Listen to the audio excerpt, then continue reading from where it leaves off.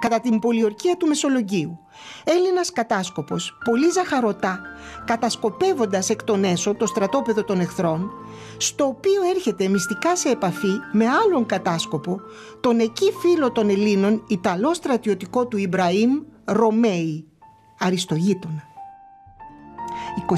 21 Ιανουαρίου, 9 της ημέρας.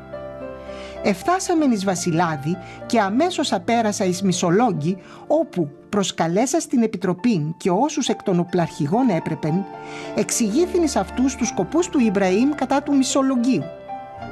Τους είπων τι έπρεπε να κάνουν δια να το υπερασπιστούν ως ήμουν οδηγημένος από τον Ρωμαίη.